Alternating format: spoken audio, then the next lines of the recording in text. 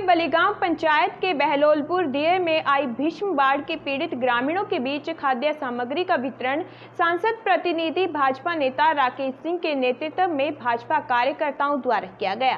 राकेश ने कहा कि सांसद राजीव प्रताप रूडी के निर्देश पर कालूदियर गाँव में 220 परिवारों के बीच चूरा, मीठा, बिस्किट, साबुन आदि का वितरण किया गया। वहीं बाढ़ पीड़ित ग्रामीणों ने गाँव में लगे सोलह केबीए का ट्रांसफॉर्मर बदलने की मांग की। राकेश सिंह ने एक माह के अंदर तिरसठ केबीए का ट्रांसफार्मर बदलवाने के लिए ग्रामीणों को आश्वासन दिया। बताते चले कि गत पाँच दिन पूर्व गंडक नदी में उफान से दियारा क्षेत्र में भीषण बाढ़ आई थी। डी इलेवन टीवी के लिए परसा से दीपक कुमार की रिपोर्ट।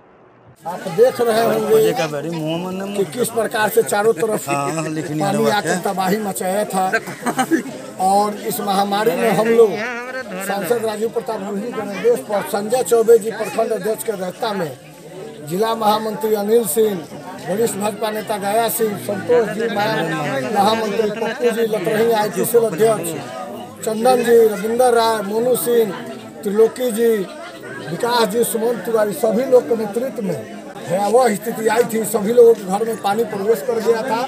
हम लोग अपने स्तर से चिवड़ा, मिठा, बिस्कुट जलमेट साबुन देने का काम कर रहे हैं। इस दुख के घड़ी में कुछ हम लोगों से सहयोग हो जाए, वही सहयोग करने का काम कर रहे हैं। ग्रामीणों का एक बहुत बड़ी मांग 16 केवी का ट्रांसफार्मर बदलने का है, जिसको हम लोग अगले महीना तक तिरसठ से सौ केवी करा देने का